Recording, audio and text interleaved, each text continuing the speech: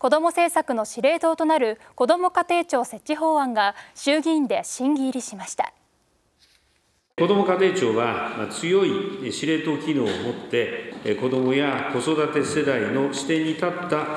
子ども政策を総合的かつ包括的に推進することができる体制を実現していくものです。法案では各省庁にまたがる役割を子ども家庭庁に集約することで省庁間の縦割りの打破を目指すほか他の省庁に対し政策の是正を求めることができる勧告権を持つ大臣を置くとしています。一方で子ども家庭庁設置後も幼稚園や学校教育などの教育分野は調整がつかず文部科学省に残るなど縦割りの弊害が残る可能性も指摘されています。政府は来年4月の発足を目指し今国会で成立させる方針です。